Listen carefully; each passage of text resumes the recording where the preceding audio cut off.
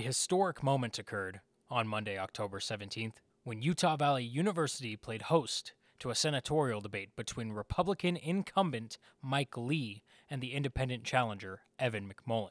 Questions were gathered from the Utah Debate Commission, social media, and our very own Utah Valley students, including this question by UVU student McKenna Briggs when she asked My question for you is You've both expressed opposition to President Biden's student loan forgiveness executive order. What solutions do you have um, for the student loan crisis?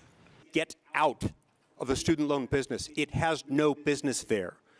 Look, um, we have to remember how this came about, how it originated. The only reason we got in to the student loan business is because enterprising Democrats during the debates leading up to the passage of Obamacare wanted to pay for. They wanted a funding mechanism.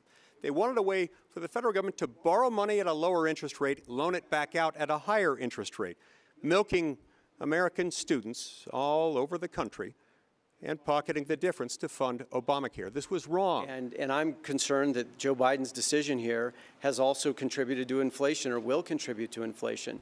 I believe that we should have debt forgiveness programs for those in public service, like teachers and police officers, and those in the military and, and in other roles serving the country. But it should have been a more narrowly focused program, and he should work with Congress in order to design it and implement it. That is what I think is required. Other important questions were asked regarding relevant topics in today's political climate, including inflation, immigration, and water sustainability. There are a lot of people who have been brought here as children, sometimes as infants, uh, by no choice of their own, by their parents. In many instances, these individuals don't even know the language of their home country, let alone know anyone there.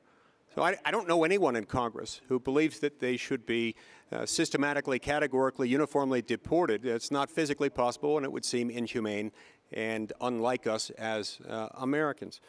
Uh, what I do believe is that in order for us to get to a solution that we have, we first have to secure the border. In the CIA, when I served abroad, I served with many officers who had immigrated to America, and they made us stronger. I think they are a great service. To, they, they're a great source of strength for the country.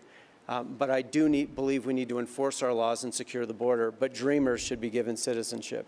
You can watch the full debate on the Utah Debate Coalition's YouTube channel. I'm Chad Roderick with the UVU Review.